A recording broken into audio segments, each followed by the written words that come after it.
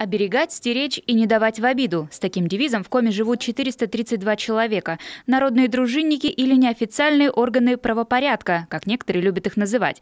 Красные нашивки на руке словно маячок для преступников. Если поблизости нет полиции, нарушения обязательно пресекут дружинники. Сегодня отряд добровольных правозащитников есть в каждом муниципалитете Коми. И то удивительно, что большее их число составляют представительницы слабого пола. Лицо должно быть достигнуто 18-летнего возраста, должен быть гражданином Российской Федерации, соответственно, не иметь судимостей, не привлекаться к административной ответственности, соответственно, не состоять на учете ну, у медицинских организаций, у нарколога и психиатра.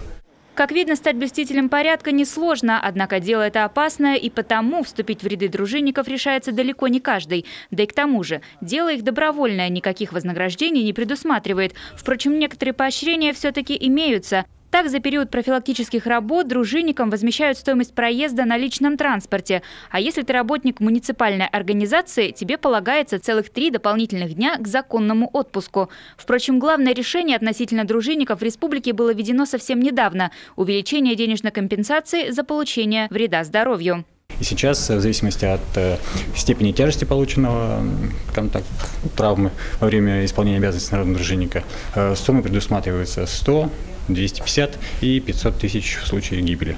Еще одним стимулом популяризации станет республиканский конкурс «Лучший народный дружинник». В Коме он проходит впервые, и этот шаг станет прорывом в развитии нужного дела. Среди главных задач – создание новых практик в организации работы и выявление лучших хранителей правопорядка. Последнее, кстати, сопровождается денежным вознаграждением. Конечно, количество дружинников не хватает всегда, особенно когда проводятся большие, крупные, массовые мероприятия, там охрана общественного порядка в День Победы, пасхальные мероприятия, много различных крупные спортивные мероприятия. Конечно, единовременно привлечь бывает проблематично. Но э, эту работу мы с МВД выстраиваем, э, мы популяризируем деятельность народных дружин.